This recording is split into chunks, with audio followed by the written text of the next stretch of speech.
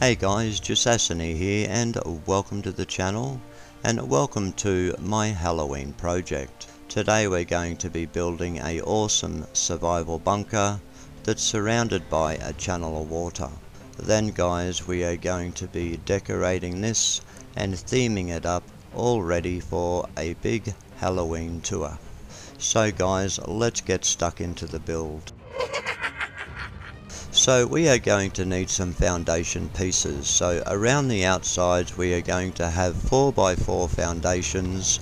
Now this will be removed so you can use any material you like. So in the middle we're going to go for the rough log from Cabin in the Woods and of course place our half walls around the bottom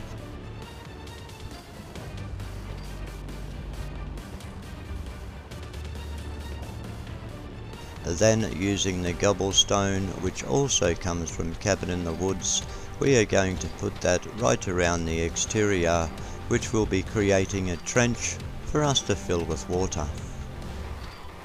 Now I, I suggest deleting one foundation at a time and replacing it with water one at a time as you go. If you delete too many and then try and place all the water at once, sometimes you can have trouble with the snapping. So down goes the last piece of water guys and there is our trench and look at that, that looks absolutely fantastic. We can have a drink, we can go for a swim, we can do anything we like.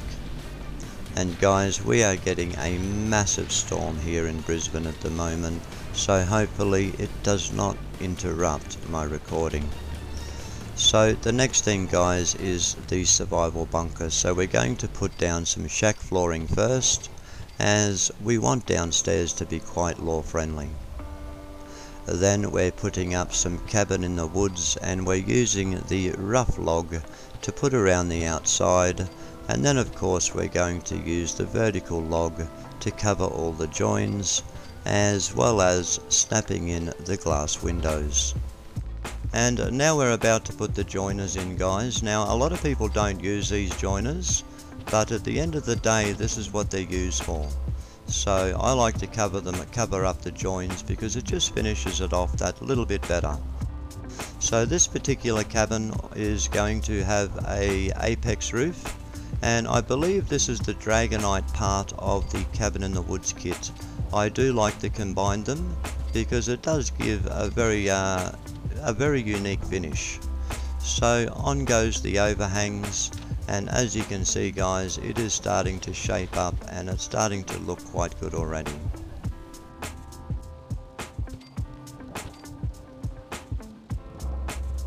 So up goes some awnings and of course we're going to put some solar power here, that is all we need.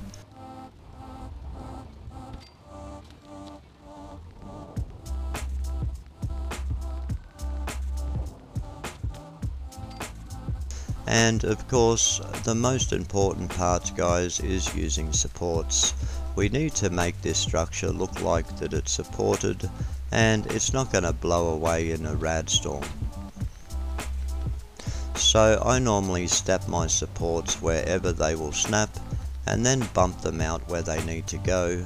That way it ensures that they stay square and flush as you can see they don't make it all the way down to the water so we'll be putting another one underneath which will carry it further down right down to where our water hits the ground. We're going to put three supports on each side and of course make it more believable. So guys, hit that like button, smash the subscribe button and check out some of the builds that I've got coming up. Some of the builds are very very good and very surprising and I cannot wait to present them to you.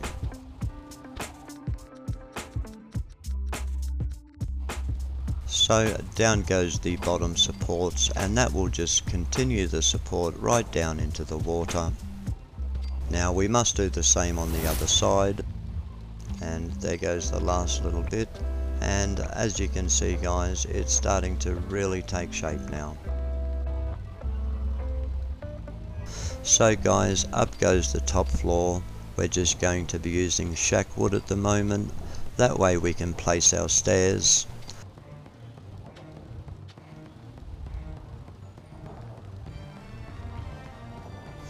So a set of stairs going down to the area in dirt. Now I'm going to fill that area in, but the original bunkers actually had food down there. They also had their own water down there, and they also have like a cooking station down there. So your food, cooking, everything can be locked up within your bunker and it's all safe and secure. So guys, the next thing we are putting up is these pain in the ass stairs. Now I had a little bit of a trouble with these, but at the end of the day guys, with a bit of dickery, I was able to get the job done.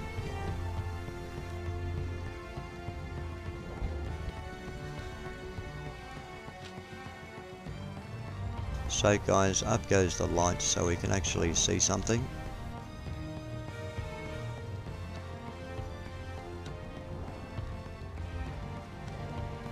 So as you can see, it's coming along very, very quickly. This does not take very long to make, guys. So the next thing we're going to be doing is we're going to put our little drawbridge across. Now back in the day, this was detachable. They used to put it up, walk inside the bunker, and then they would lift it, bring it inside the bunker. So the only way you could enter was swimming or making a hell of a racket in the water. And then of course you meet and greet your guest at the door with a shotgun.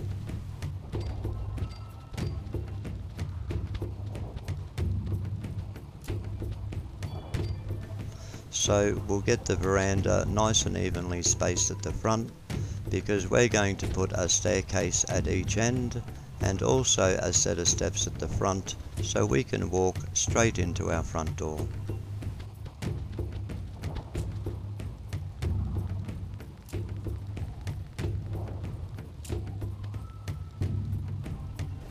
So there goes the set of stairs down this side so we can exit stage left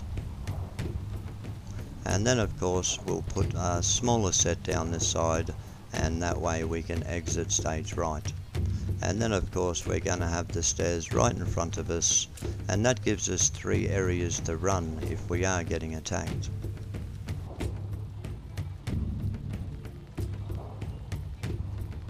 Up goes the railings now. Now I'm going to show you guys where the railings are placed but I am going to bump and nudge them off camera to get them nice and tidy and straight. It's just that if I do the bumping and nudging now, it's going to add time onto this video and I'm trying to keep it short.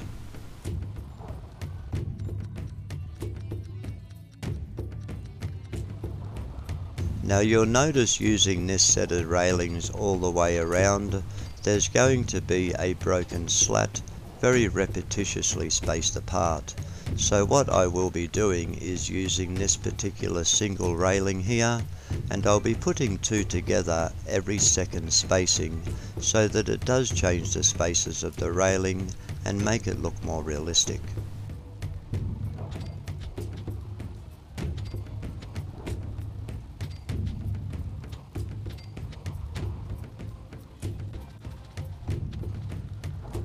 The next step is to put some chicken wire under the front and that's just to keep rodents and pests out so they don't get in under our porch.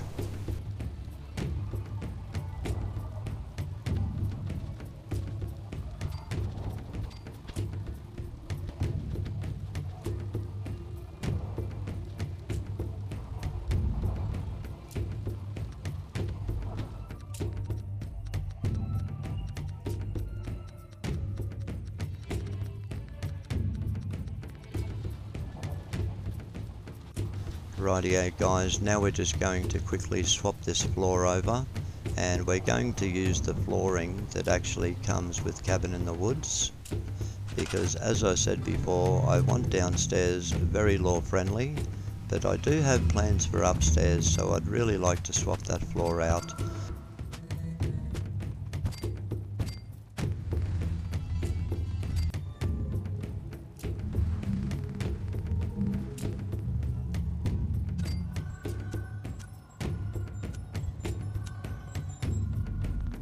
down goes a couple of pieces of grating.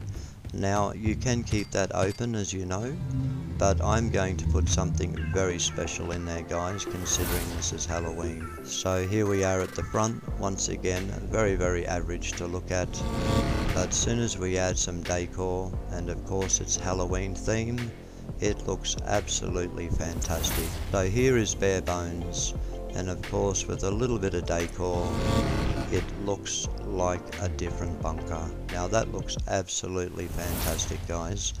Now guys I cannot wait to show you the full tour.